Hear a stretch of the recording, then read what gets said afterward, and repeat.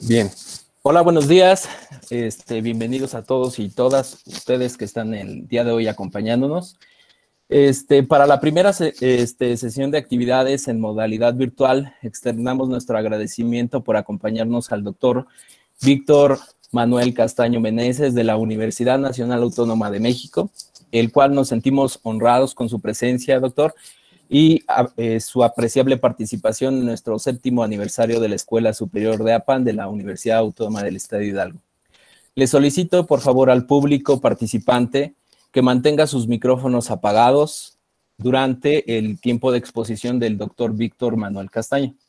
Al término de dicha plenaria, iniciaremos con la sesión de preguntas y comentarios por parte de nuestra audiencia.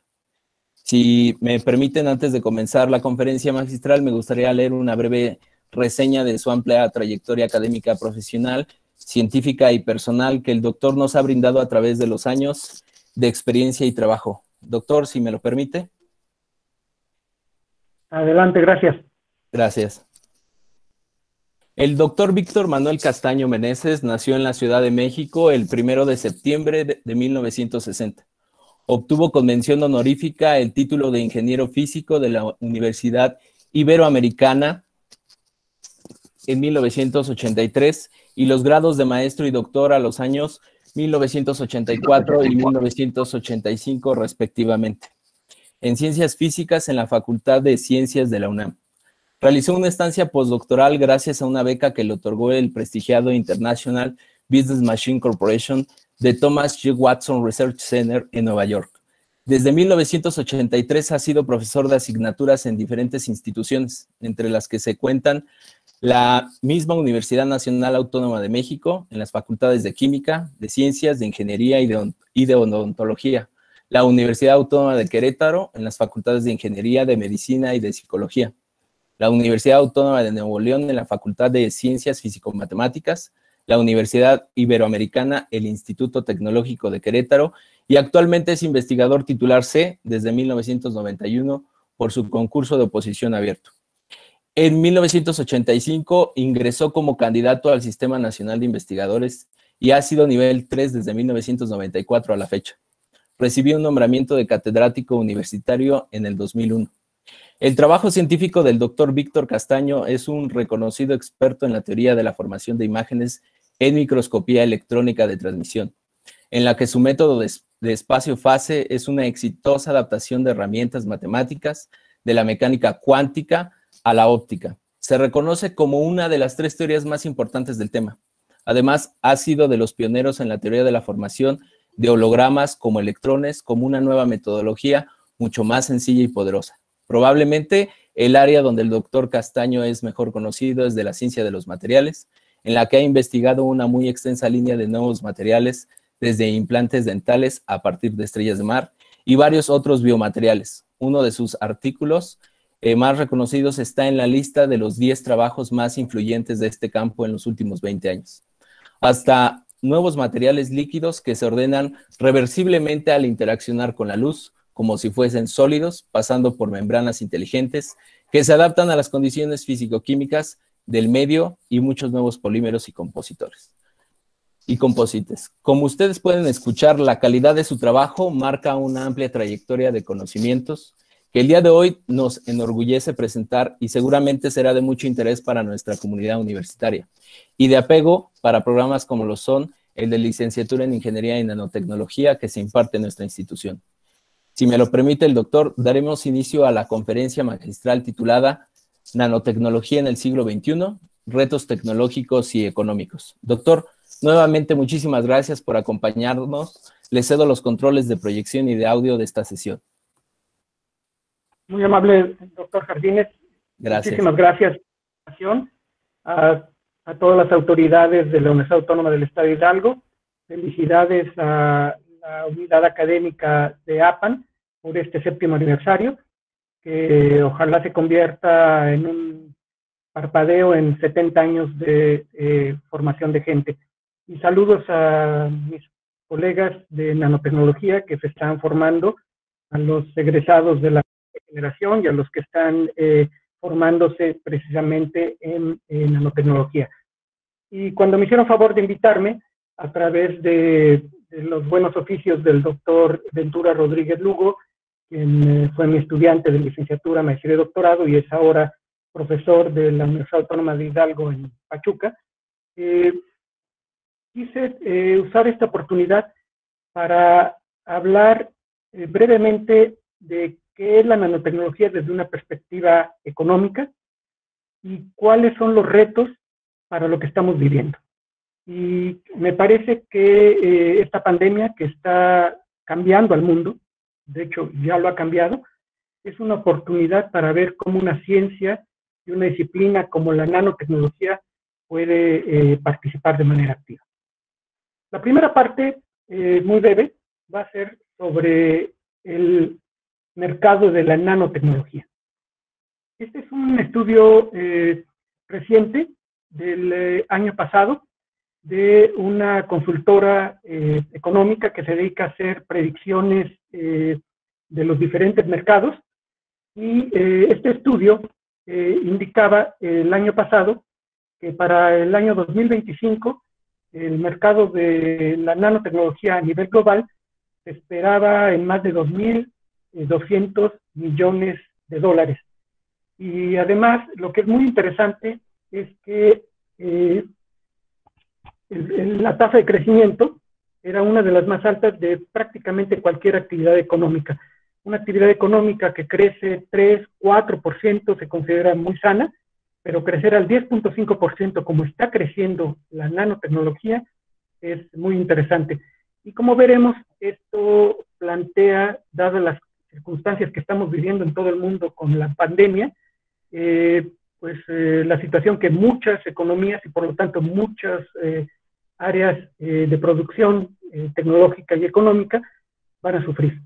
Y veremos que esto pues, ciertamente es un riesgo para la nanotecnología, pero también puede ser una gran oportunidad. Esto es desglosado, de acuerdo con este estudio, cuáles son las principales regiones de consumo de nanotecnología en el mundo. Eh, como ven ustedes, entre el 2002 y el 2005, eh, la zona que más consumo ha tenido de nanotecnología es la Comunidad Europea, seguida de eh, los Estados Unidos y China, junto con Japón, creciendo de una manera muy interesante. China, por supuesto, es una de las economías que más está creciendo en su uso de nanotecnología y eso es algo que veremos de manera muy clara en los próximos años y probablemente desde este 2020. Y ah, como, ven ustedes, eh, no aparece entre estos actores económicos México y prácticamente ningún país latinoamericano, lo cual, pues por un lado es eh, triste, pero por otro lado abre oportunidades como vamos a tratar de, ver en lo que sigue. Eh, e, este es un análisis de, eh, con más detalle de cómo se ha cambiado este mercado de la nanotecnología y aquí se muestran dos casos, el año 2018 y el año 2025, y vemos cómo eh, una serie de cosas que limitaban el uso de la tecnología, como era el, uh, el costo en 2018, ha disminuido de manera importante y eh, ciertos temas que eran importantes en 2018 ya no lo son tanto y eh, están creciendo nuevas eh, áreas de desarrollo económico como aplicaciones energéticas de la nanotecnología. el campo donde la nanotecnología ha tenido ya un impacto económico desde hace muchos años es precisamente el de las aplicaciones médicas, en particular para imagenología. Eh, este, en el caso de la energía que les comentaba, eh, es uno de los temas donde más crecimiento está teniendo la, nanotecnología. Aquí ven ustedes entre el 2013 y el 2019 el crecimiento tan enorme eh, del uso de nanotecnología en cuestiones emergentes, tanto ya comercializados como los emergentes, que eh, están empezando a tener cada vez más interés a pesar de... Eh, en el caso de la medicina que les comentaba, este es un artículo muy reciente, fue presentado en, uh, en junio del año eh, pasado en un congreso internacional sobre cuál es el mercado de la nanotecnología para este 2020 eh, en el campo de las aplicaciones eh, médicas.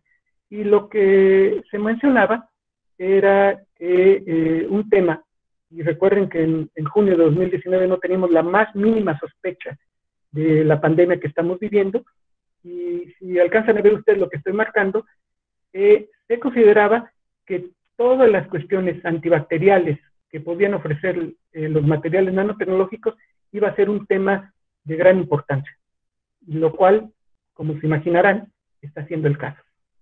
Eh, este es un gráfico que muestra el crecimiento de las aplicaciones de la nanotecnología en el área médica y vemos también un crecimiento sostenido, interesante, eh, eh, que llega a alrededor del, 9%, que para términos económicos es muy, muy atractivo, y que probablemente eh, para este 2020 se dispare aún más.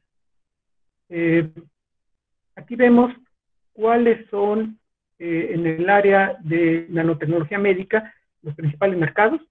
Más de la mitad son en Asia y Oceanía, principalmente Japón y China. Eh, Europa sigue siendo un, eh, eh, un actor importante con cerca del 30%, seguido de Estados Unidos, y América Latina, donde básicamente juegan Brasil, México y Colombia en ese orden, pues tiene una participación muy marginal, pero esto también abre la posibilidad de eh, ocupar algunos nichos de mercado que se están abriendo. Déjenme hablarles ahora de un tema que ya en el año pasado, como les comentaba en este estudio europeo, eh, preveía que iba a ser un crecimiento interesante y eh, que por la pandemia se está convirtiendo en un tema obligado. Y es el mercado de los infectantes de superficie. Eh, en términos generales tenemos cinco tipos. Los más usados son los eh, compuestos cuaternarios de amonio. El producto más conocido eh, a nivel mundial es el Lysol. y tiene un crecimiento que se esperaba el año pasado de 4.4%, que es muy interesante, y todavía no tenemos datos porque estamos viviendo este fenómeno, pero les aseguro que eh, en 2020 hemos tenido un crecimiento de más del 20%, lo cual es verdaderamente impresionante desde el punto de vista económico y ha creado eh, pues crisis como el que ya eh, está empezando a escasear la materia prima para producir estos desinfectantes, que no solamente son necesarios, sino en muchos casos y en muchos países son prácticamente ya una, una reglamentación. Eh, el mercado eh, de estos eh, desinfectantes en Estados Unidos en 2019 fue de 1.500 millones de dólares y se esperaba que para el año 2026 fuera de más de 2.500 millones. Estamos hablando de un crecimiento impresionante sin tomar en cuenta la pandemia. Con la pandemia estos números se han quedado cortos y abre posibilidades interesantísimas. Eh, la mayor parte de estos desinfectantes se usaban para cuestiones industriales, como ven ustedes, eh, aquí el con azul oscuro, eh, mientras que para la parte residencial era pues, relativamente pequeño. El día de hoy esto ha cambiado y probablemente la parte comercial y residencial sea al menos el 50%, dadas las condiciones de la pandemia. Sin embargo, este es un eh, estudio de marzo de 2020, de hace unos cuantos meses, de eh, eh, sistema de salud de los Estados Unidos y que marca un tema extremadamente preocupante que está asociado a este crecimiento económico que les acabo de describir y que es el incremento en envenenamientos eh, por, eh, por estos eh, sistemas de limpieza y de desinfección. Aquí lo ven ustedes. ven con azul claro y azul oscuro las variaciones en 2018-2019, que son más o menos razonables y más o menos similares a los años anteriores, y con en negro ven lo que corresponde a 2021, claro incremento de eh, el, número de casos de intoxicaciones o de algunos problemas que pueden ser dérmicos, respiratorios y en algunos casos aún más graves eh, eh, por el uso de estos desinfectantes, tanto por la falta de conocimiento del público en general, que de repente los empiece a usar sin, sin tener verdaderamente los datos de cómo debe hacerse, como por la aparición de, productos milagro que eh, prometen curar y desinfectar. Este es un problema muy grave eh, y que son eh, parte de los retos que la nanotecnología a nivel mundial y ciertamente la de México y ciertamente la de APAN debe tener en cuenta. Y con esto, déjenme pasar a un tema de, creo, de absoluta relevancia y actualidad. ¿Cómo la nanotecnología puede participar en la pandemia? Eh, un tema en el que también estoy colaborando y probablemente algunos de sus profesores también, es el desarrollo tanto de vacunas como de eh, medicamentos para aliviar al menos parte de los síntomas y, de los problemas asociados al COVID-19.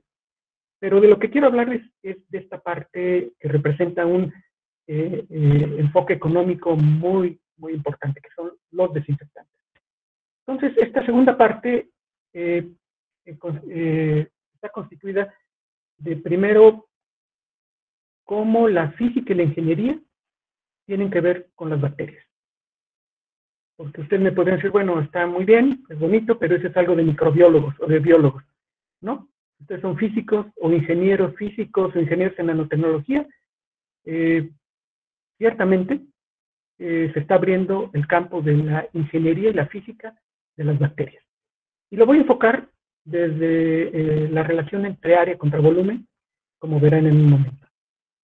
Después hablaremos de los bactericidas, como todos estos que ya les describí hace un momento, contra nanobactericidas. Eh, les voy a hablar de eh, un producto mexicano que eh, está a la vanguardia en este tema que les estoy describiendo, que se llama Nanoxen, un desarrollo tecnológico que hemos llevado a cabo. Después les hablaré de otro tema fundamental. No solamente necesitamos tener los desinfectantes, bactericidas, viricidas, sino también aplicarlos de manera adecuada.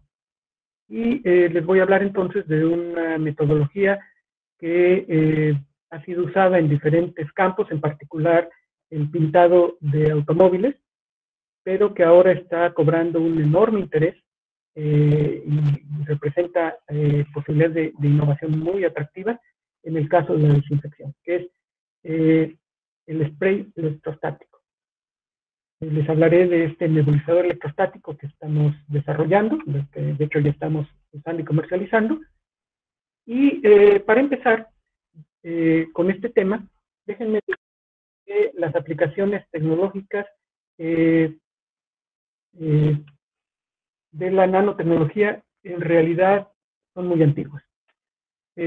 cuando tengan ustedes la oportunidad de visitar el Museo Británico en Londres, eh, uno de los museos más bonitos del, mundo, por favor busquen en el catálogo la Copa de Licurgo, que eh, es un objeto del año 400 de nuestra era y que dependiendo de la longitud de onda de la luz con la que iluminen, eh, cambia de color, de verde a rojo.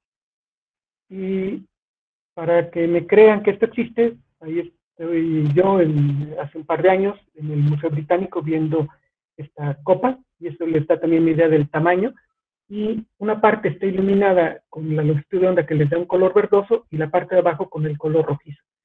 Eh, esto el día de hoy sería muy divertido, una, eh, una copa que cambia de color con, la luz, pero creo, eh, y esa es simplemente una hipótesis, que la, la, razón de haber desarrollado esto eh, hace en el año 400 de nuestra era fue por una cuestión tecnológica, porque esto cambia de color no solamente con longitud de onda, sino con el pH del líquido que lo contiene. La mayor parte de los venenos eh, son de un pH muy ácido. Entonces esto eh, les permitía a los usuarios saber si, estaban siendo envenenados. Y la razón por la cual eh, cambia de color, todos los que estudiamos nanotecnología la conocemos muy bien. Y déjenme preguntarles de qué color es el oro. Pues me dirán dorado, por supuesto, color oro.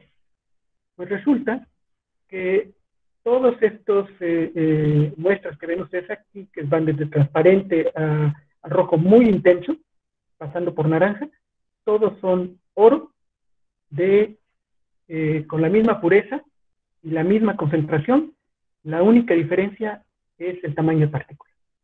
Aquí ven, por ejemplo, 2 nanómetros transparente, 5 nanómetros, 50 nanómetros, 200 nanómetros. El oro eh, tiene un color que depende del tamaño. Y entonces, eh, esto nos abre posibilidades muy interesantes, como veremos enseguida.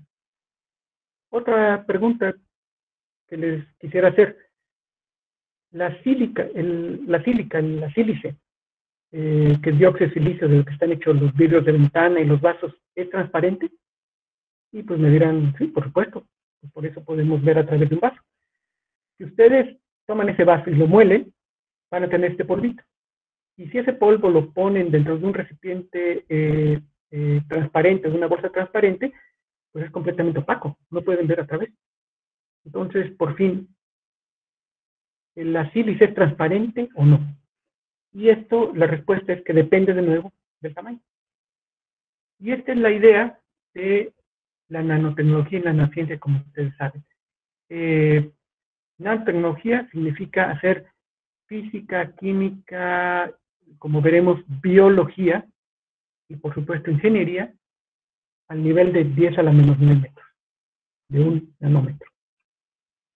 ¿Y por qué es interesante? porque como vemos aquí, eh, tenemos varios objetos eh, cuyo tamaño está expresado en nanómetros, desde una eh, pelota de tenis hasta anticuerpos, virus y bacterias, que tienen, como ven ustedes, un tamaño entre 100 y unos cuantos miles de nanómetros.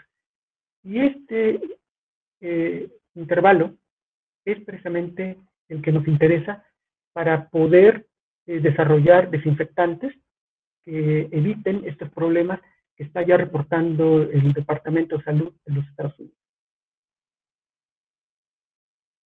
Déjenme platicarles una primera característica de la nanotecnología.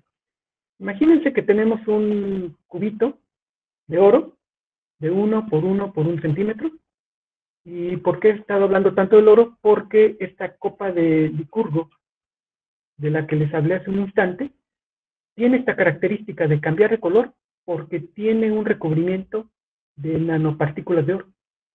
Lo que no sabemos todavía es cómo hicieron en el año 400 de nuestra era para descubrir esto y después para aplicarlo. Pero ahí está. Y si lo pueden hacer eh, en Egipto en el año 400 de nuestra era, eh, debemos hacer eh, debemos ser capaces de hacerlo en APAN en el 2020. Eh, entonces, volviendo a este ejemplo, el oro de un centímetro por un centímetro por un centímetro, que nos da un volumen de un centímetro cúbico, y si alguno de ustedes tiene una tabla periódica o se quiere meter a internet, verá que un centímetro cúbico de oro pesa exactamente 19.3 gramos. Nada. Prácticamente 19.3 gramos no alcanzan a, sentirlo si lo tienen en su, mano.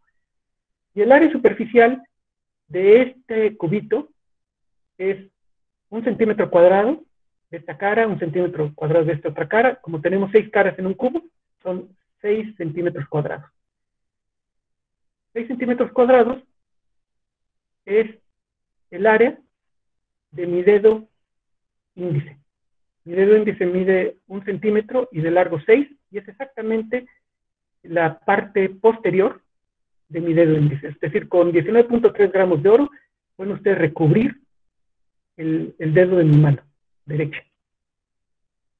Pero imagínense que hacemos nanotecnología y que convertimos este cubito de 1 por 1 por un centímetro en nanocubos de 10 por 10 por 10 nanómetros. Haciendo una regla de 3, vemos que con este cubo de 1 por 1 por 1 centímetro podemos producir 10 18 nanocubos de 10 por 10 por 10 nanómetros. El volumen de cada nanocubo es 10 por 10, 100 por 10, 1000 nanómetros cúbicos. Y el área superficial de cada nanocubo es 10 por 10, 100 eh, nanómetros cuadrados por 6 lados, 600 nanómetros cuadrados, es de uno de estos nanocubos. Pero como tenemos 10 a la 18, el área total de estos nanocubos es 600 por 10 a la 18, lo cual me da 6 por 10 a la 20 nanómetros cuadrados. Para ponerlo de nuevo en centímetros cuadrados, esto me da 6 millones de centímetros cuadrados. Y 6 millones de centímetros cuadrados es el área del eh, jardín principal de aquí lo encontré en internet. Es decir, con 19.3 gramos de oro, ustedes pueden recubrir mi índice derecho o pueden recubrir toda la plaza del jardín central de APA. Y eso precisamente es la idea de la nanotecnología. ¿Qué tiene que ver esto con bacterias? Este es un artículo muy interesante del 2006 eh, en una revista que se llama Microbiology and Molecular Biology Reviews, eh, donde eh, este investigador, Kevin Young, que es eh, biólogo, microbiólogo, encontró que la forma de las bacterias tiene una razón evolutiva y selectiva. Las bacterias tienen diferentes formas dependiendo de lo que necesitan para sobrevivir. Y tenemos bacterias, como ustedes ven aquí, de todo tipo de formas. Esféricas, elongadas, en forma de gusanito, en forma de hélice, con ramificaciones. Es impresionante la cantidad de formas que tenemos. Y lo que encontró este señor es que eso no es simplemente un accidente, sino tiene una razón física. Eh, por ejemplo, vemos que aquí tiene ciertos eh, microorganismos que tienen forma de U y cuando se cambian las condiciones de crecimiento, las eh, bacterias eh, cambian de tener esta forma de U, que es típica de ellos, a tener formas como de M o elongadas. Y su capacidad de supervivencia es una adaptación de su forma al medio. Es decir, de manera natural y como evolutivamente han llegado a esto. Pero si artificialmente les crean otro medio, adoptan esta forma, y si les crean otro medio, adoptan esta otra forma. Es decir, la forma es una respuesta evolutiva y selectiva. Y por ejemplo, sabemos que para que una bacteria pueda colonizar una superficie, tiene que haber una distancia determinada. Si está demasiado lejos, no alcanza a interaccionar y no coloniza. Y si está demasiado cerca, existen otro tipo de interacciones colombianas, etcétera, que tampoco permiten que, eh, que colonicen. Es decir, la forma y el tamaño de las bacterias tienen una razón física y química para poder colonizar y enfermarnos y producir eh, pues las enfermedades como el COVID que estamos padeciendo. Y estos tamaños son precisamente de unos cuantos nanómetros. Eureka. Aquí es donde puede entrar la nanotecnología.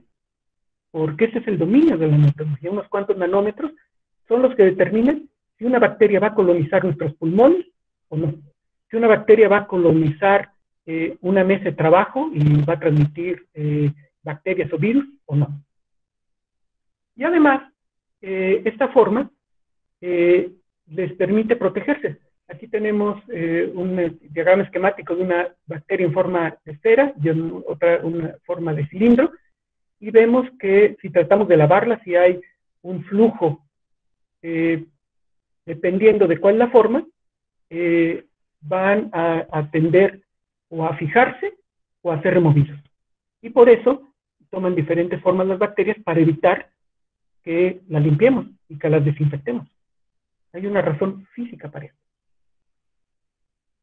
Y entonces, desde hace unos cuantos años, este es eh, un artículo de, de una revista eh, que se llama Evidence-Based Complementary and Alternative Medicine, eh, se proponía que para combatir a las bacterias que son extremadamente inteligentes, como ustedes lo ven aquí, primero adoptan la forma que más les conviene y si cambia el medio físico y químico, cambian su forma y se adaptan. Por eso es tan difícil atacar. La idea entonces sería eh, generar una nueva eh, alternativa, un nuevo enfoque contra las bacterias y microorganismos, que es precisamente la nanotecnología, el hacer materiales nano antimicrobianos, porque estamos entonces eh, enfocándonos en la misma escala en la que eh, se desarrollan los microorganismos, incluyendo bacterias, virus, moho, etc. Y tenemos diferentes eh, mecanismos que se pueden sintetizar en dos grandes familias. Por un lado, nanomateriales que entran directamente en la estructura del microorganismo y generan mutagénesis o daño de DNA o de RNA, o bien que interaccionan a través del sustrato sobre el cual tienen que vivir, y este sustrato puede ser de nuevo eh, nuestros pulmones, nuestro corazón, eh, nuestra piel, o eh, un escritorio, una mesa, un cubrebocas, etc. Y, a través de estos dos mecanismos, ya sea penetrando directamente o en el sustrato, podemos producir diferentes reacciones. Por ejemplo, en el caso de penetración, podemos generar radicales libres, producir eh, la muerte directa de, las células de los microorganismos o de la capa lipídica, por ejemplo, de los virus, es una de las características de este coronavirus que nos está afectando, y producir, eh, por ejemplo, inflamación que las inactive. O bien, eh, hacer uso de esta relación eh, de las bacterias con el sustrato. Y este es otro artículo muy interesante, reciente, de microbiólogos en una revista que se llama Trends in Microbiology y que encuentran lo que ya les había esbozado, pero lo hacen con mucho mayor detalle. Las relaciones entre área superficial y volumen. Por eso me tomé la molestia de hablarles de, eh, estos nanocubos de oro y decirles que con, con 19 gramos de oro pueden recubrir o 6 centímetros o 600 metros cuadrados. Y esta idea, pues, que está divertida, se puede aplicar de manera muy efectiva a el combate a eh, bacterias y microorganismos a través de esta relación entre área superficial y volumen. Y entonces vemos, por ejemplo, que si tenemos eh, eh, bacterias que tienen exactamente el mismo volumen, 0.5 micrómetros cúbicos, pero con diferente forma, esférica, un cilindro o un cilindro más elongado.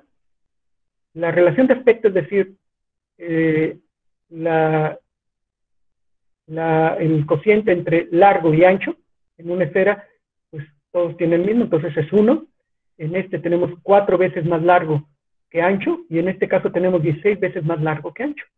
Y la relación área superficial a volumen cambia desde 6 hasta 16 lo cual es también interesante. Podemos tener una bacteria que eh, coloniza 16 eh, eh, micrómetros a la menos 1 o 6.1 con la misma cantidad de materia.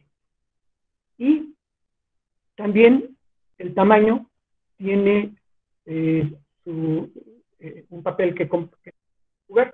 Aquí tenemos, por ejemplo, para una esfera, cómo varía la relación área superficial-volumen y vemos que hay un valor óptimo. Y esto nos explica por qué las bacterias y virus tienen un tamaño específico. No, no pueden existir bacterias de 10 centímetros y tampoco pueden existir bacterias de 0.1 nanómetros, por una razón física y después que se ha expresado en una forma evolutiva. Y lo mismo pasa con cilindros, cómo cambia la relación área superficial a volumen dependiendo del tamaño. Y entonces, eh, ¿qué pasa si hacemos, si jugamos, y cómo hace la naturaleza con esto?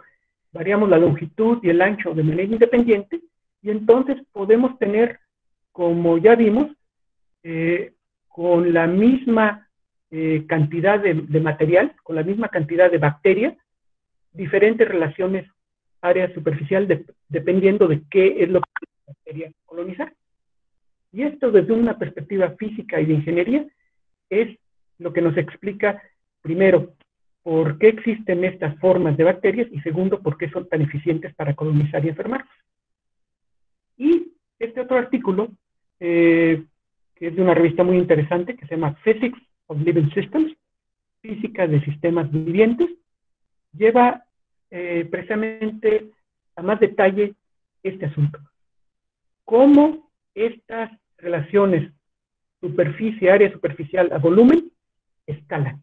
Y lo que hicieron estos investigadores del uh, University College en Londres eh, es estudiar todas estas bacterias que están aquí, montones de bacterias, se cansaron de estudiar bacterias y encontraron una cosa que para los que somos físicos nos fascina, que la relación área-volumen, eh, la velocidad de crecimiento, etcétera, siguen una ley de escalamiento. Es decir, que hay una curva maestra que nos permite explicar todas estas bacterias que son diferentes. Es decir, hay una física básica, muy simple, muy bonita, que acabamos de descubrir de por qué las bacterias tienen estas características. Y esa es la física de la ingeniería de las bacterias. Y pues nos podemos pasar pues horas hablando de esto. Rápidamente, ¿cómo aplicamos esto en la práctica?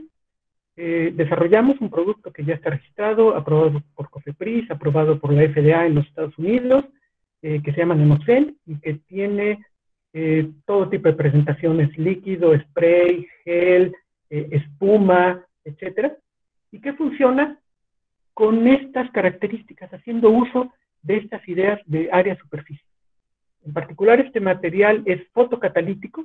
Cuando eh, eh, llega luz, las nanopartículas que lo forman interaccionan eh, y destruyen a las nanopartículas. Nos tiene muchísimas posibilidades, elimina bacterias, hongos, virus, y es extremadamente eficiente.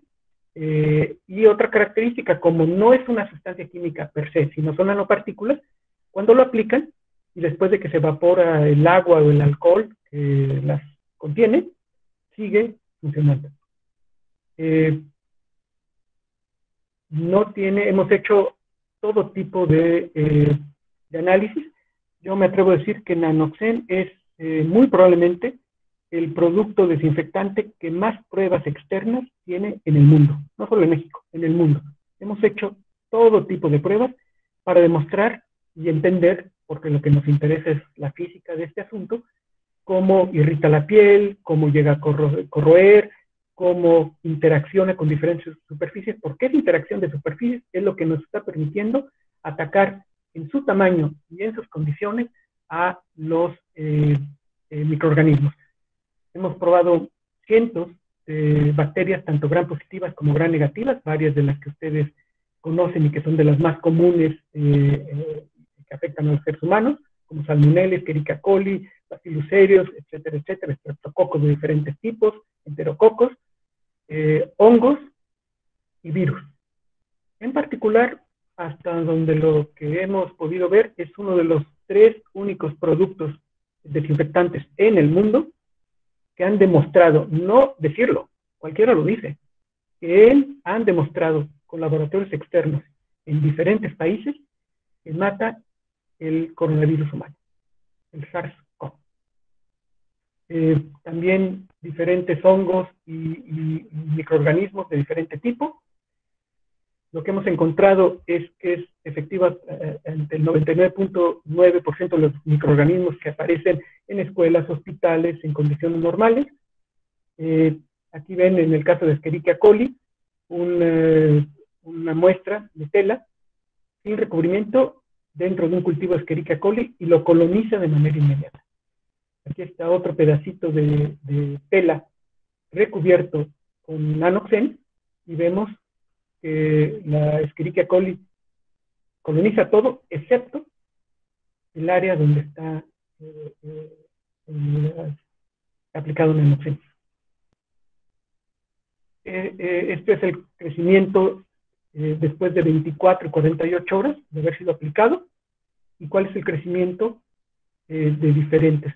Pero sigue funcionando, aún después de haberse eh, aplicado. Hemos hecho también pruebas con hospitales en el sector salud de Cancún.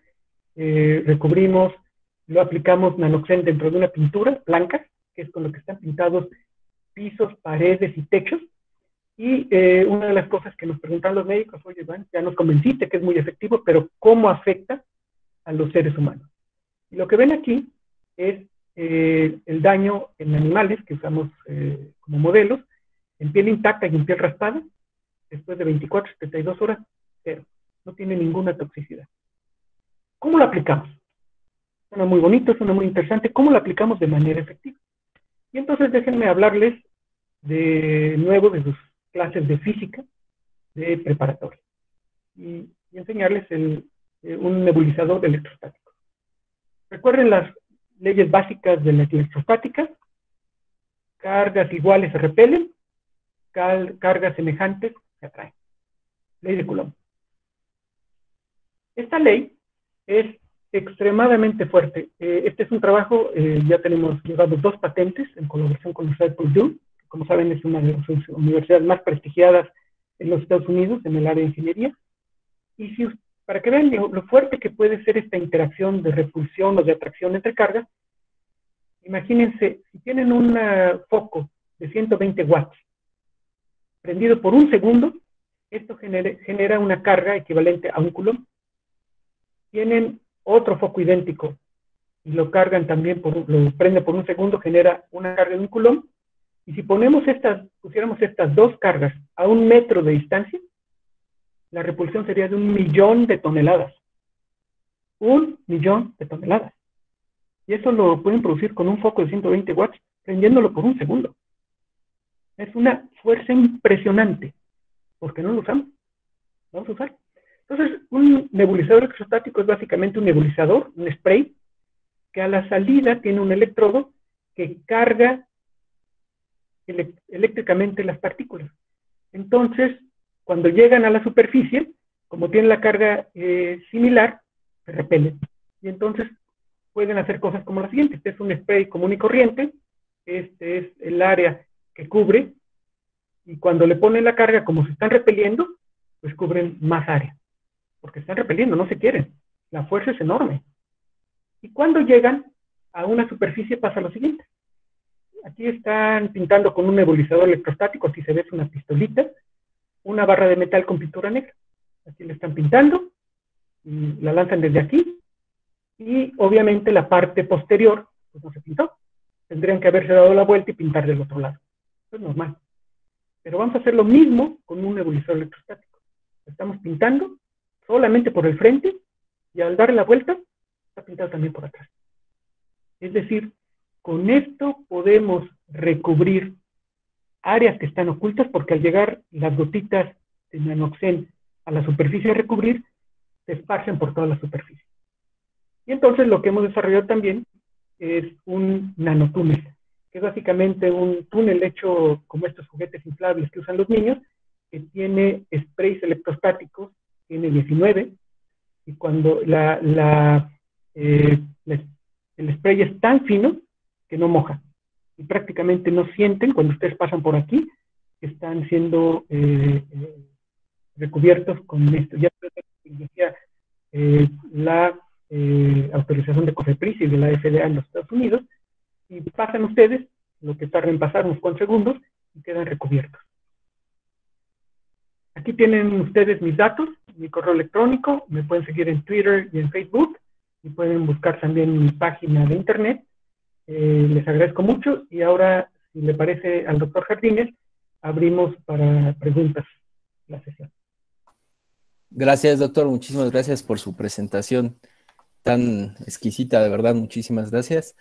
Bueno, para, eh, si me lo permiten, eh, se da iniciada la sesión de preguntas. Por favor, podrían solicitarlas en la lista del chat de esta conferencia y para ceder la palabra se le solicita al participante que prenda su micrófono y nos haga apertura de su cámara de video.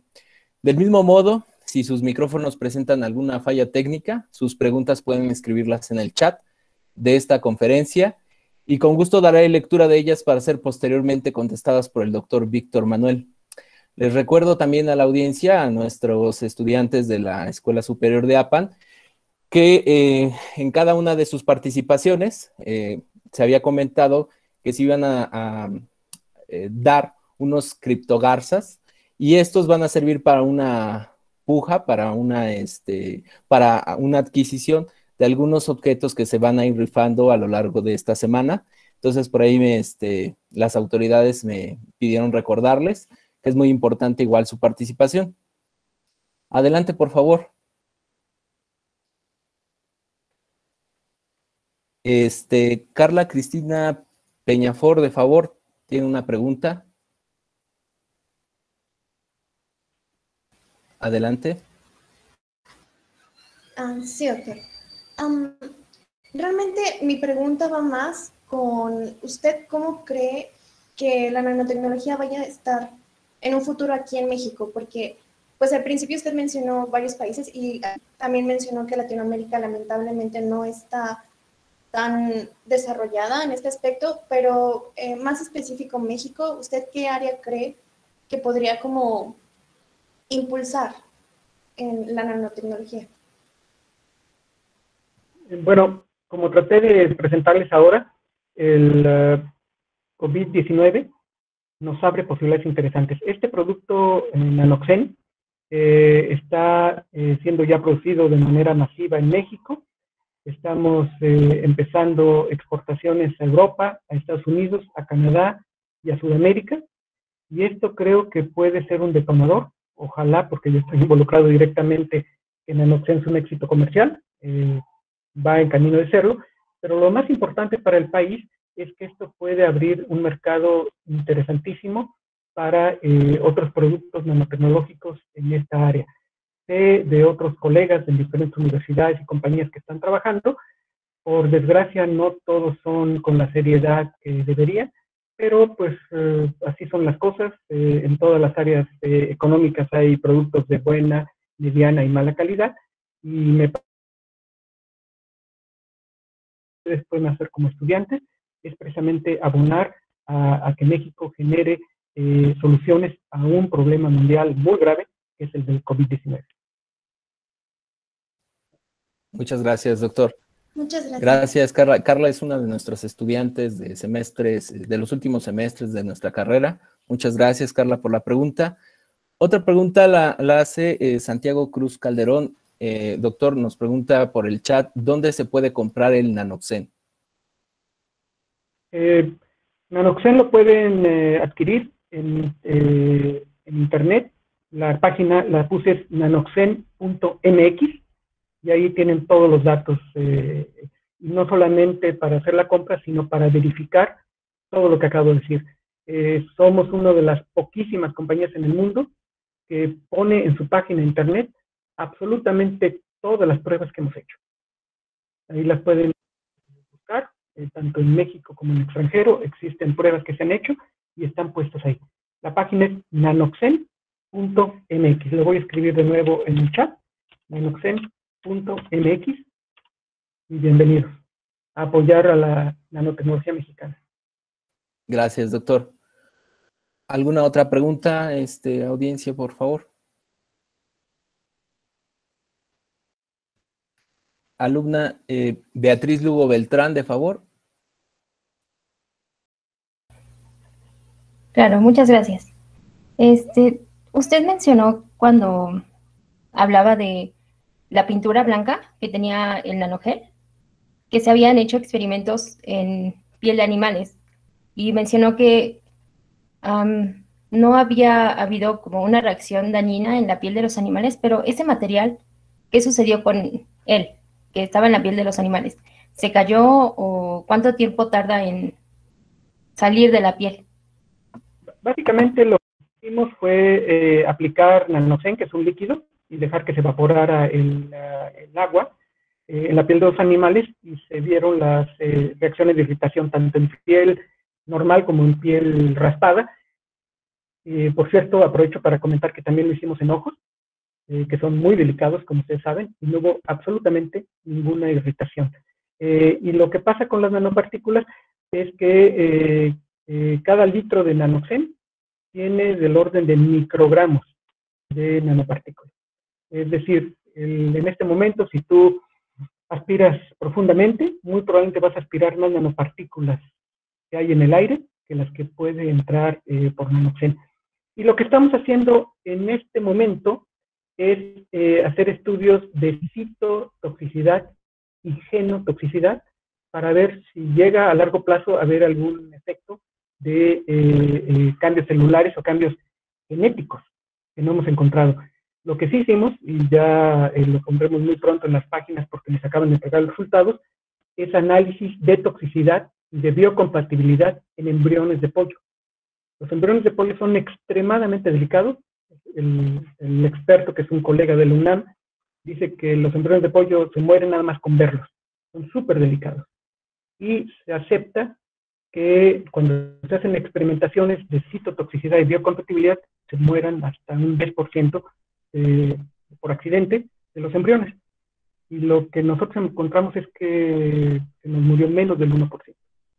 Entonces, lo que te puedo decir es que todas las evidencias que tenemos es que no existe ningún eh, eh, efecto a largo plazo de nanoxeno. Gracias, Beatriz. Gracias, doctor.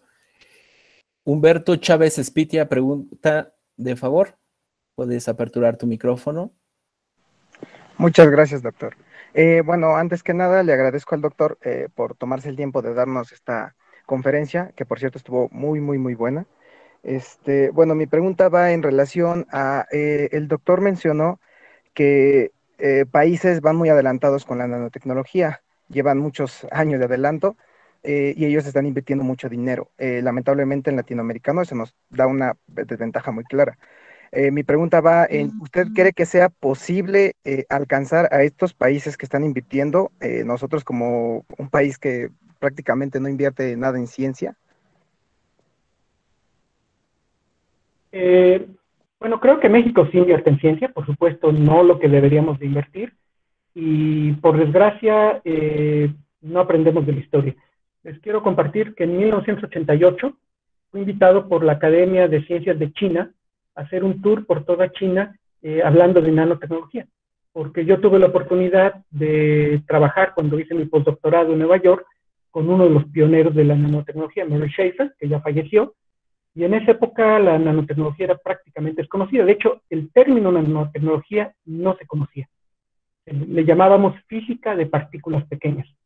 Eh, la palabra nanotecnología surge en los 90. Eh, por cierto, a raíz de, una, eh, de un libro de ciencia ficción que después se convierte en ciencia verdadera.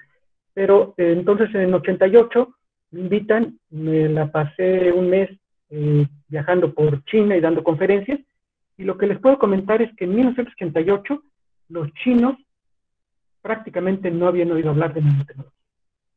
En esa época, 1988, México publicaba alrededor de 200 artículos de nanotecnología al año. Y China, pues prácticamente cero. En 2018, 30 eh, años después, eh, México producía 600, 700 artículos de nanotecnología, que son muy buenos, pasar de 200 a 700 es muy bueno. Eh, y, China publicó más de 5.000. Es decir, en 1968 estábamos muy atrás, China estaba muy atrás de nosotros y el día de hoy no vamos a alcanzar a China jamás. Pero esto puede ser también al revés. Y, mi mensaje es precisamente que eh, este tipo de situaciones eh, graves como la pandemia pueden servir para revertir situaciones como esta.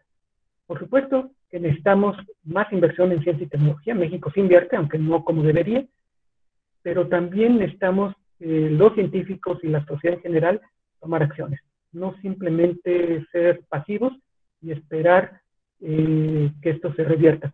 Como lo hicieron los chinos. Los chinos, cuando se dieron cuenta, después de mi visita, de dónde estaban, dedicaron 30 años a hacer políticas públicas e inversiones que los han llevado al primer lugar mundial en nanotecnología. Muchas gracias, Doc. Y le agradezco mucho de, por su tiempo. Gracias, Humberto. Gracias, doctor. Eh, Sergio Acosta Lozano, por favor. ¿Tiene una pregunta? No, perdón, antes está Miguel Rodríguez Espino. Una disculpa, Sergio. Miguel Rodríguez Espino. Claro que sí. Gracias. Buenos días. Eh, muy interesante la plática, doctor.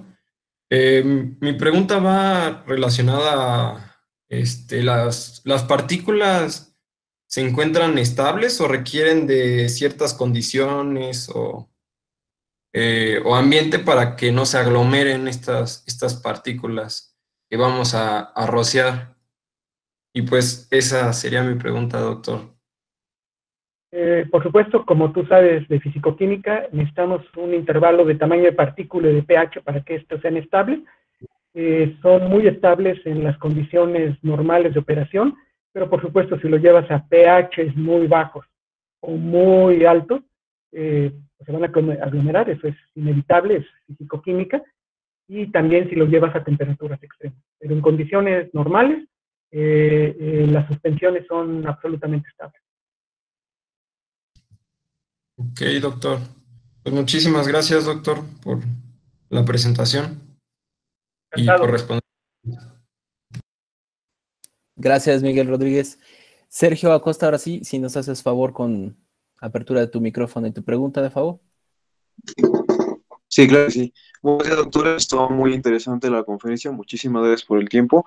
Y bueno, aquí yo tengo una pregunta. Yo había checado que eh, un antibiótico como la tracimicina, me parece, es, ese creo me parece extraído de, de la parte marina. Entonces, mi pregunta es porque, bueno, muchos han hablado de los, este, de que los fármacos, como por ejemplo la penicilina, últimamente no ha sido tan, tan eficaz. Entonces, yo habría, bueno, mi pregunta es la posibilidad de que en el futuro pudieran hacer este uso de estas bacterias marinas para solución de, bueno, de, futuros este, problemas, ¿no? Porque se han presentado que son como que más potentes los, las bacterias como tal.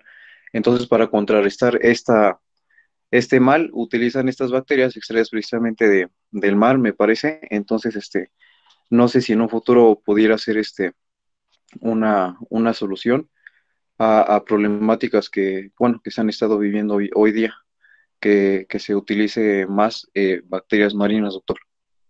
No sé. Eh, por supuesto, yo mismo he trabajado con diferentes organismos marinos para hacer biomateriales, para hacer injertos de piel.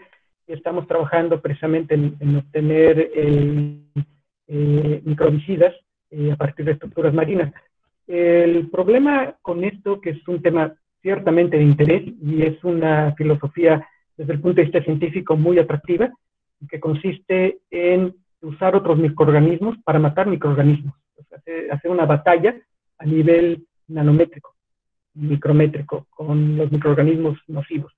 El problema con esto es que eh, los eh, eh, protocolos que se requieren para, para poder ser aprobados toman mucho tiempo y aún con estas facilidades que están dando a nivel internacional por la pandemia, son cosas muy riesgosas como para liberarlo a corto plazo. La respuesta entonces a tu pregunta es, yo sí le veo mucho interés, estoy trabajando en eso, yo mismo y mucha otra gente en el mundo, pero me parece que esto toma un, buen rato. Muchas gracias, doctor. Gracias, Sergio Acosta. Gracias, doctor. Alondra Denise Rodríguez García comenta, yo solo quiero agradecer por tomarse el tiempo de contarnos sobre los avances de la nanotecnología. Yo soy estudiante de primer semestre de la carrera. Diana Sofía Cruz Torres hace una pregunta, doctor. No sé, podría ser un cierto tipo de recubrimiento para las células humanas que abarque los nanómetros que quedan libres en el receptor de la célula y el COVID para que no se pueda adherir a la célula?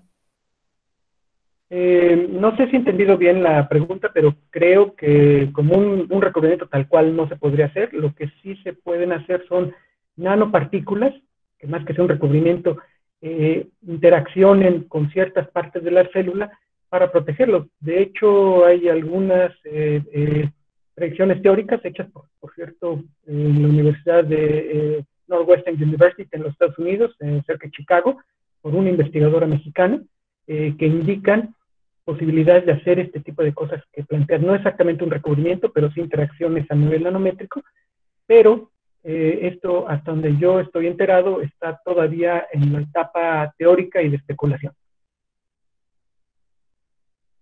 Gracias, doctor. Sofía Martínez nos comenta que las redes sociales son IG arroba nanoxmex, en Facebook arroba nanoxen en LinkedIn Nanoxen también. Sí, lo pueden encontrar en redes sociales y de ahí los lleva a la página o entrar directamente a la página, es muy simple, nanoxen.mx. Gracias, doctor. Samatsi Uribe Islas tiene una pregunta, por favor. Eh, buenos días, doctor. Mi pregunta es sobre Nanoxen. Eh, ¿Qué impacto negativo tiene al medio ambiente? Es decir, si contamina o no contamina. Eh, esta es una pregunta que nos han hecho y que eh, la respondió indirectamente la EPA, Environmental Protection Agency de los Estados Unidos, hizo análisis, le presentamos todo el caso y con todos los experimentos y nos aprobó, lo cual quiere decir que cuando menos bajo la visión de una, de una institución tan seria, tan importante, tan cuidadosa como la EPA, no tiene efectos ambientales. Muchas gracias, doctor. Gracias, Amatsin. Virginia Gutiérrez Cerón, una pregunta, por favor. O las que gustes también.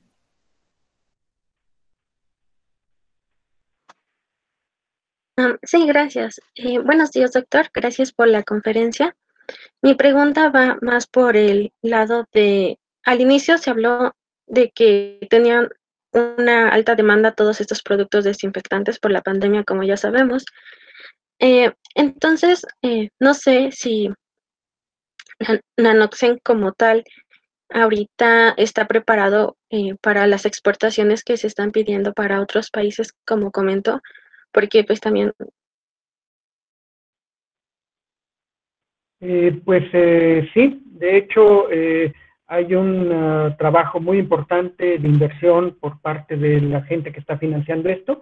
Eh, se tienen ya pues eh, eh, un lote muy importante, pero si todos los casos que estamos recibiendo, las posibilidades que se están abriendo se concretan, que esperemos que sí, vamos a tener que incrementar. Ya hay un plan para hacerlo a través de, de, hacer alianzas con otras compañías mexicanas, lo cual fomentaría, como les estaba comentando, el mercado de nanotecnología de México. Gracias, doctor. Gracias, Virginia. Uriel Martínez Maya comenta, eh, gracias por la conferencia y tiene una pregunta, doctor. Dice, ¿cómo cree usted que hace tantos años alguien pudo hacer la corupa de Licurgo sin tener el avance actual? Eh, yo creo que eh, este es solo un ejemplo del uso de nanotecnología en, civilizaciones muy antiguas. Por ejemplo, se han encontrado nanopartículas para teñir el pelo en momias egipcias. el azul maya en, Mesoamérica, en México, también funciona porque es una nanoestructura. y, yo he encontrado varios otros ejemplos de que estas ideas de nanotecnología estaban ya en la mente de la gente. Y me parece que el problema es un problema eh, estético como ético.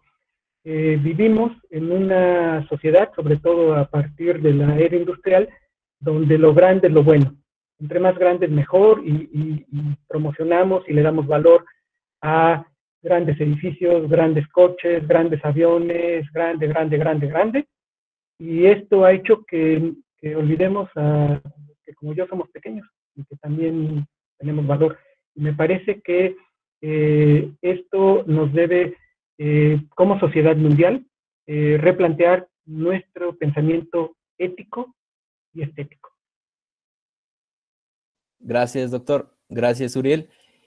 David González Argüeta también tiene una pregunta, este, por favor.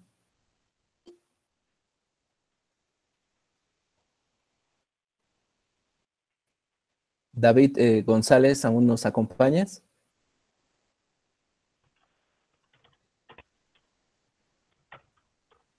Me parece que no. Sí, perdón, perdón, buenos días. Buenos días. Perdón, tenía aquí problemas. Doctor, buenos días.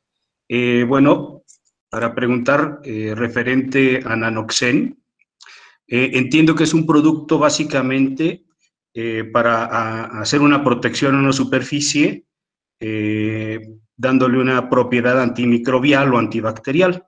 Mi pregunta es, ¿es aplicable para cualquier tipo de superficie? Eh, ¿Qué durabilidad tiene esta protección en, una superficie? ¿Y qué eh, condiciones son las que podrían afectar a esa protección? Eh, en principio, lo que hemos estudiado y estamos haciéndolo en colaboración con los Red Purdue eh, primero porque es una universidad muy equipada y muy prestigiada y segundo para tener una eh, diferentes superficies, estamos eh, usando 10 superficies diferentes, incluyendo plástico, acero, aluminio, la madera, las superficies más comunes que usamos, y en todas funciona de manera interesante. Segundo, la durabilidad depende de las condiciones eh, físico-químicas. No es lo mismo estar en un lugar con alto calor, con alta humedad, en un lugar frío. Y en principio eh, pueden permanecer ahí semanas, eh, siempre y cuando no se limpie o con agua o con un solvente o con un trapo. Mientras uno no remueva las nanopartículas, siguen funcionando.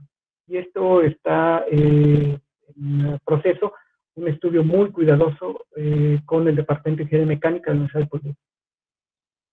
De acuerdo, doctor. Muchísimas gracias. Al contrario. Gracias, David González Agüeta. Gracias, doctor. Víctor Alan Ibarra Ortiz tiene una pregunta, por favor. Gracias, doctor. Este, buenos días. Mi pregunta es, bueno, México va muy retrasado en esto de la nanotecnología.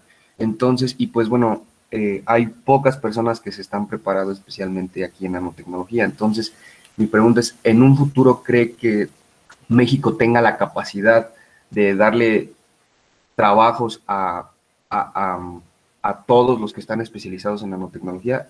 Es decir, en algunos años pues ya va a ser más famosa esta carrera y ya va a haber más personas que quieran eh, introducirse a este mundo de la nano. Entonces, ¿cree que México tenga esa capacidad de, de darle como trabajo así a todos, o pues, desgraciadamente vamos a tener que, irse al extranjero.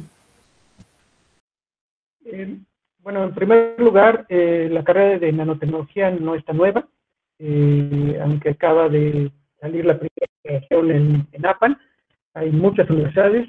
La primera que tuvo un programa en nanotecnología, ingeniería molecular de materiales y nanotecnología, fue la eh, Universidad de las Américas en Puebla, ya tiene muchas generaciones, muchos de sus egresados son investigadores destacados y, que eh, tienen ya el doctorado, postdoctorado y una carrera científica eh, hecha.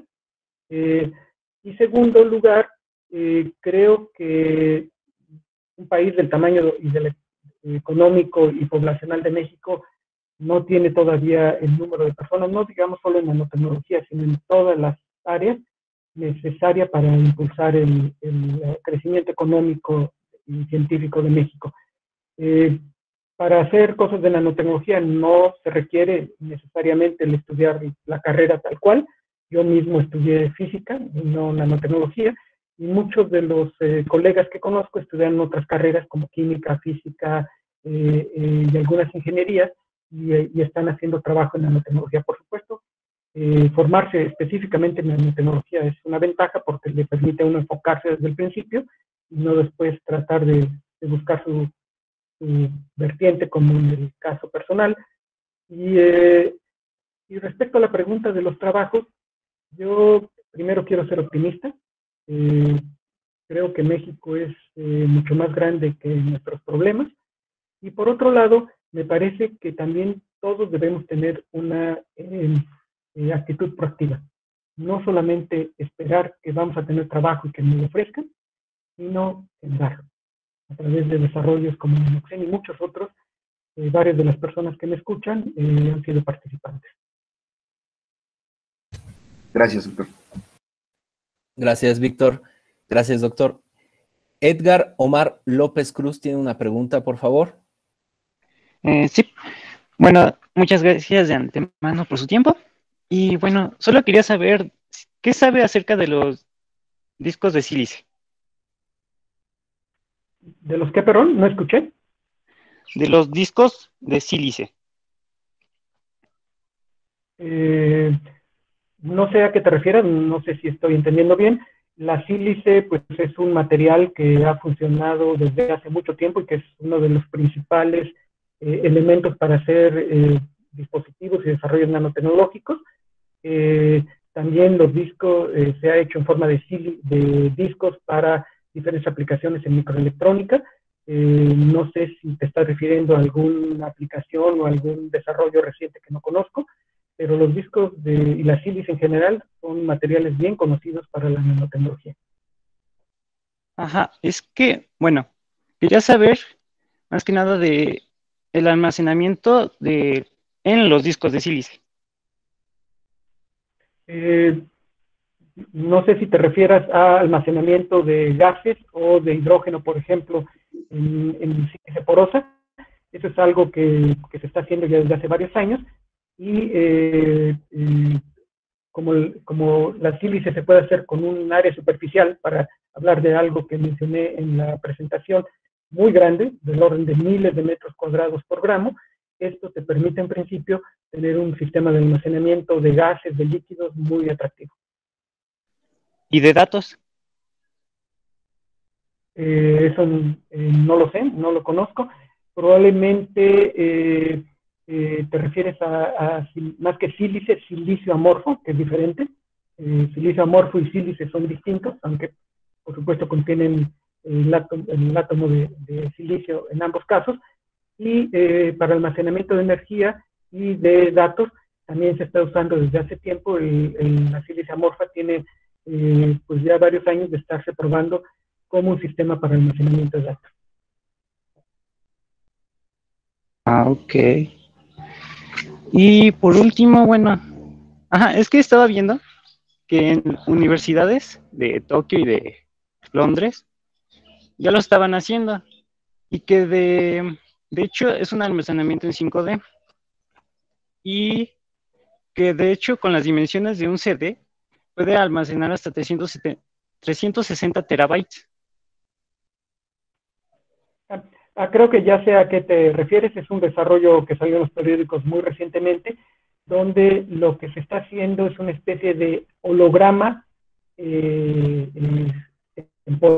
eh, y esto te permite hacer eh, no solo almacenamiento, sino en algún momento dado computación también en, lo que sería un 5D. por supuesto que es muy interesante. Lo que yo he leído al respecto es eh, está todavía a nivel muy experimental, pero ciertamente es un tema que en México estoy seguro que no faltará quien, empiece a trabajar en eso. Pero es, digamos, de, la frontera y todavía especulativo. Bueno, eso sería todo. Muchas gracias. Gracias, Edgar. Alejandra Noriega, Noriega Rubalcaba tiene una pregunta, por favor. Gracias, doctor. Bueno, Respecto a lo que usted habló de la física de bacterias, dijo que se utilizan varios métodos para la eliminación de dichas bacterias a nivel genómico. Mi pregunta es, ¿Se usan o se podrían usar fármacos teledirigidos, como es el caso de las spiders que se utilizan con una técnica de origami de ADN? Eh, es probable que sí. Desde el punto de vista de costo-beneficio, no alcanzo a ver que en este momento sea, sea factible, muy atractivo, pero pues, la tecnología y la nanotecnología avanzan tan rápido que cosas que hace cinco años eran carísimas y fuera del alcance de los mercados, ahora son relativamente económicas y, prácticamente cualquiera los puede tener. Me parece que es eh, una idea interesante, eh, que todavía falta un rato para, para sacarlo adelante. Muchas gracias. Gracias, Alejandra. Gracias, doctor. Liliana Cajero comenta, hola, muchas gracias por su tiempo y tiene dos preguntas, doctor. ¿Cuánto tiempo le tomó el desarrollo de la empresa para producción de Nanoxen y cuánto tiempo se tardó en que la FDA le diera luz verde para distribuir en Estados Unidos? Gracias y saludos. Eh, la pregunta es difícil de contestar porque la empresa se formó hace siete años y Nanoxen como producto eh, pues salió básicamente a fines del año pasado. Eh, yo no diría pues unos cuantos meses. En realidad eh, la experiencia y los desarrollos y el conocimiento que hay detrás eh, representa entre todas las personas que estamos involucradas probablemente 60 o 70 años de, trabajo muy intenso. Es difícil responderlo.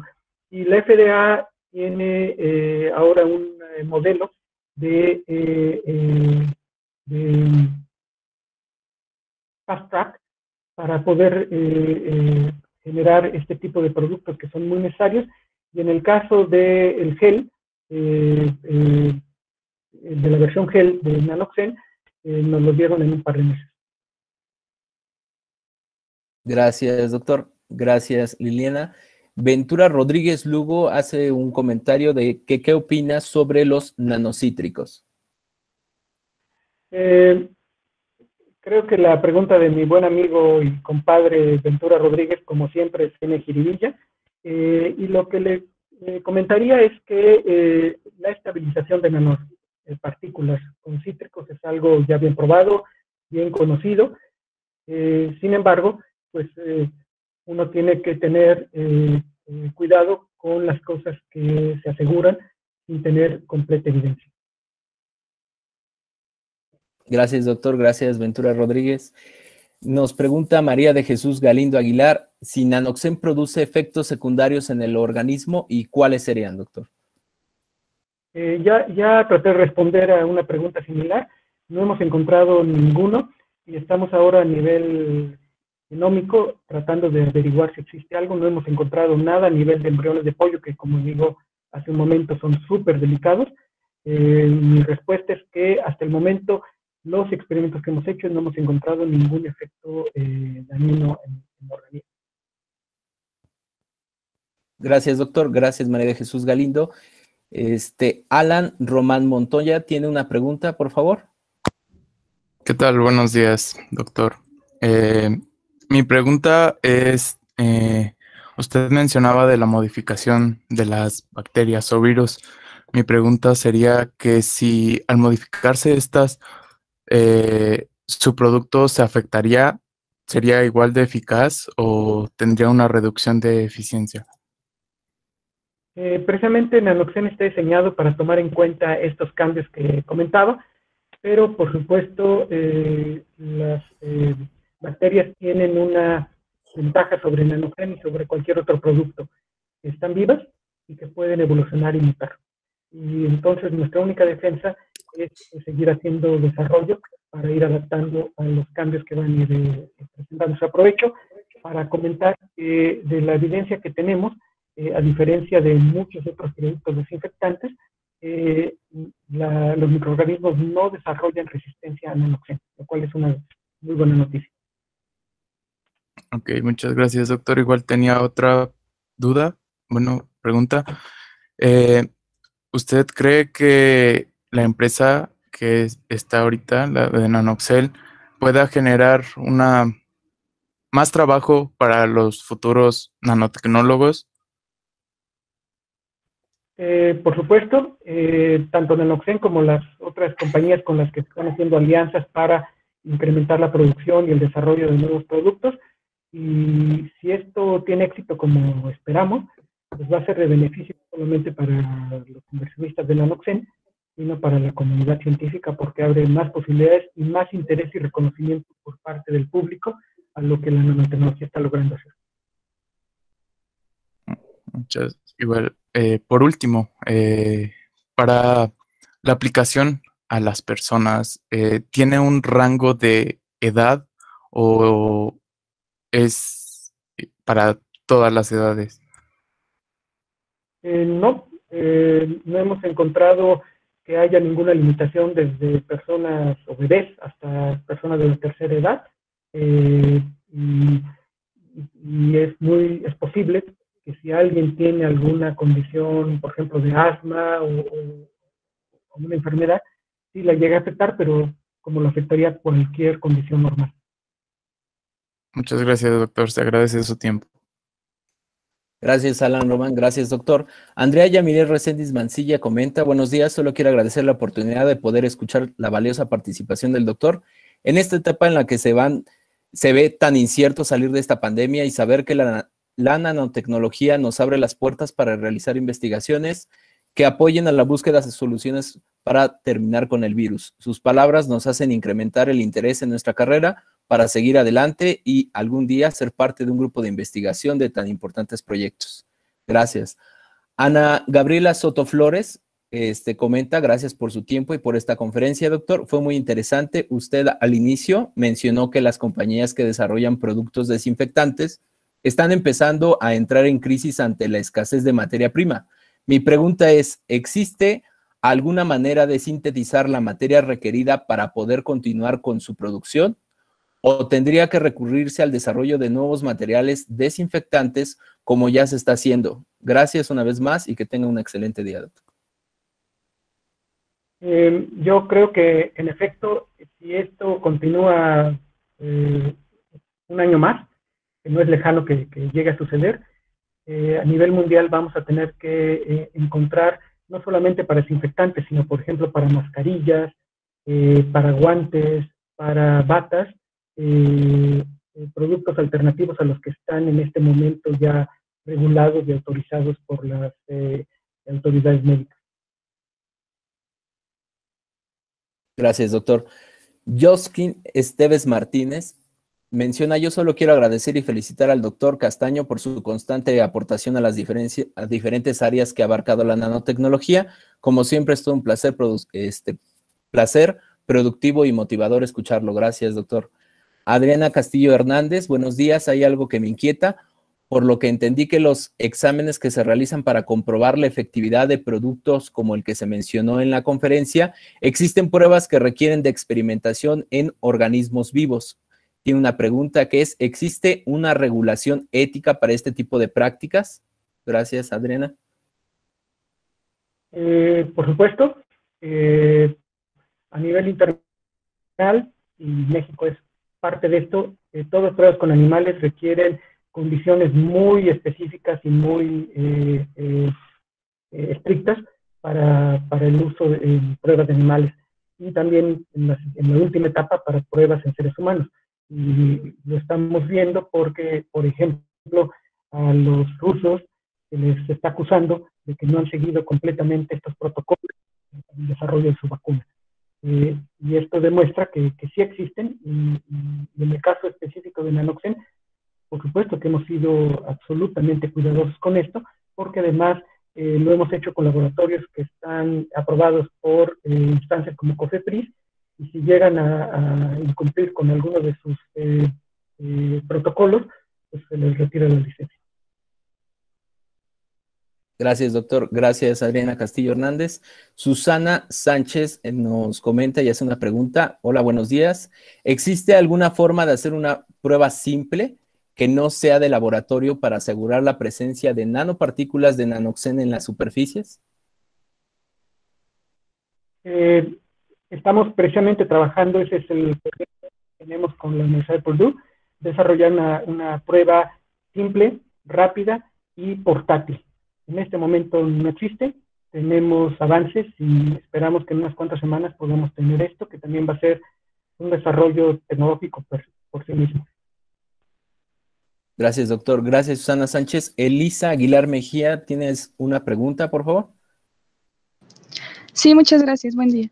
Eh, solamente con relación al nanoxen, mencionaba que era fotocatalítico. Eh, ¿Con qué fotocatalizadores reacciona?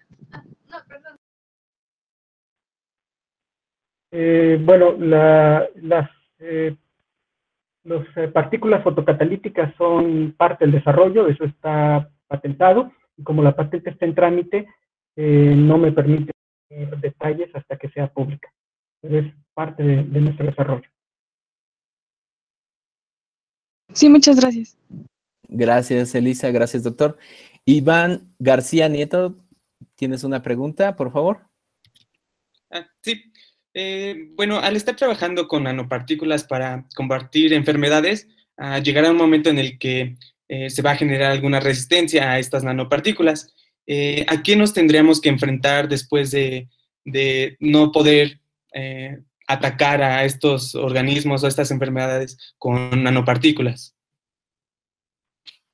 bueno, lo que hemos encontrado es que como el mecanismo es diferente al de, al de una sustancia química, digamos, convencional, no hemos encontrado el desarrollo de resistencia porque el mecanismo es distinto.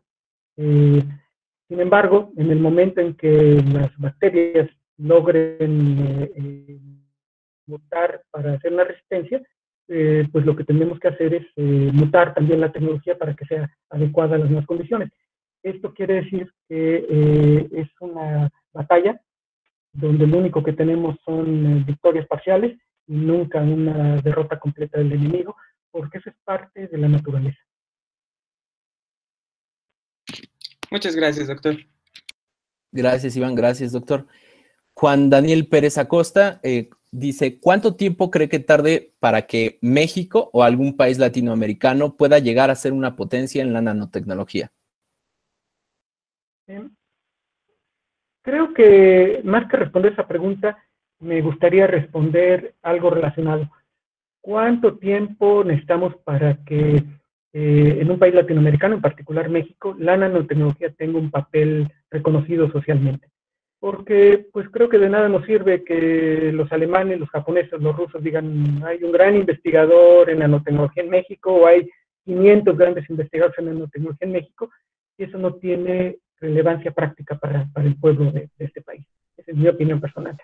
Y, entonces, eh, la respuesta a esa pregunta pues depende de todos nosotros. Eh, cómo participemos, cómo eh, eh, nos preparemos,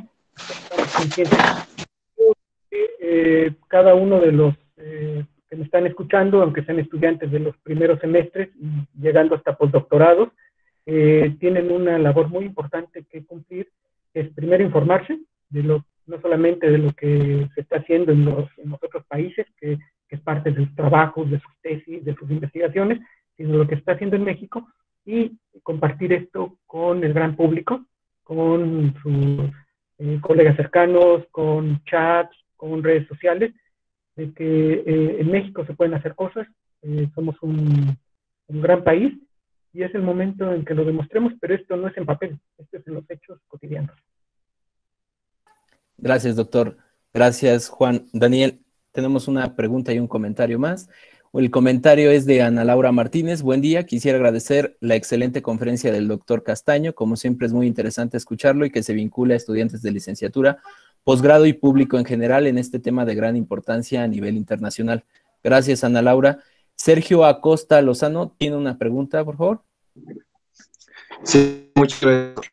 Bueno, mi pregunta es, eh, bueno, ya se ha hablado mucho acerca de lo del COVID, eh, que muchos igual comentan de que pues vino para quedarse.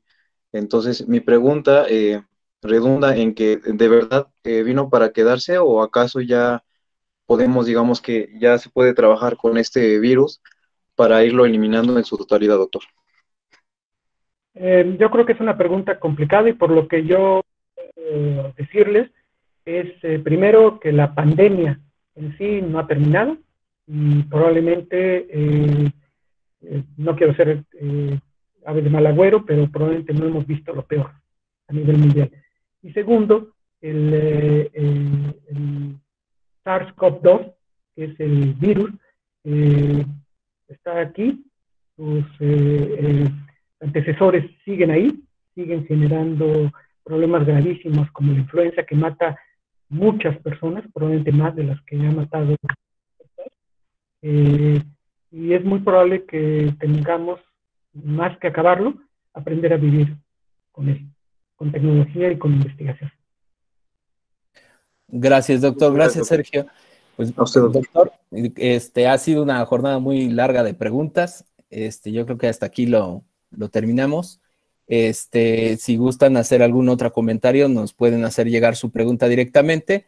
Nosotros se las haremos llegar al doctor y en cuanto tengamos respuesta, pues nosotros igual este, les haremos llegar a sus correos dicha este, contestación. Este, queremos agradecer a toda la audiencia. Este, sin más, eh, doy termina, por terminada esta parte. Muy amablemente al doctor que nos hizo favor de presentar. Doctor, en palabras de nuestras autoridades, queremos agradecer nuevamente al expositor este, su apreciable y enriquecido conocimiento dirigido a nuestro auditorio. Este, apreciado y dirigido este, a nuestro auditorio de esta casa de estudios, así como a los estudiantes, docentes y audiencia en general por participar y acompañar en esta honrosa conferencia magistral. Me gustaría pasar los micrófonos a la directora, si nos puede hacer favor, algún comentario. Claro que sí, doctor Aldo, muchas gracias. Doctor Víctor Castaño, un gusto, un placer, verdadera.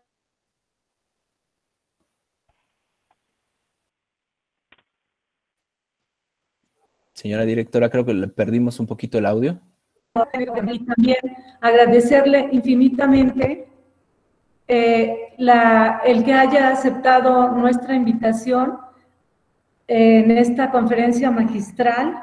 De verdad es que su participación en el marco de nuestra celebración del séptimo aniversario de la Escuela Superior de APAN, pues es un aliciente para continuar. Me da mucho gusto que la Universidad Autónoma del Estado de Hidalgo le esté apostando a estos programas académicos, porque estoy convencida que eh, la nanotecnología tiene infinitas posibilidades tecnológicas y desde luego económicas. Creo que Nanoxen es la muestra más clara que tenemos, la referencia de que científicos mexicanos tienen desde luego la experiencia y la capacidad de hacer de esto un negocio altamente productivo.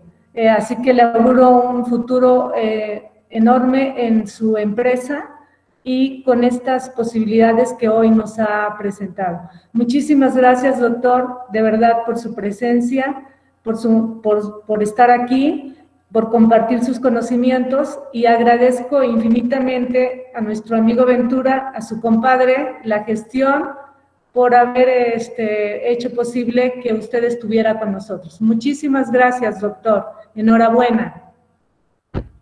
Eh, contrario, muchísimas gracias. Es un placer, eh, un honor el participar en estas celebraciones y espero que, aunque es la primera, no sea la última de las veces que me invitan. Con mucho gusto participaré en la medida de mis posibilidades.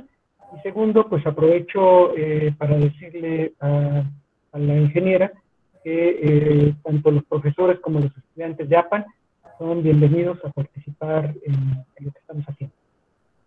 Muchísimas gracias, doctor. Al contrario, al contrario, y bueno, pues eh, nos vamos a permitir otorgarle un reconocimiento eh, que a la letra dice la Universidad Autónoma del Estado de Hidalgo, a través de la Escuela Superior de APAN, otorga el presente reconocimiento al doctor Víctor Manuel Castaño Meneses por su brillante conferencia magistral Nanotecnología en el siglo XXI, retos tecnológicos y económicos, impartida en el marco del séptimo aniversario de la escuela.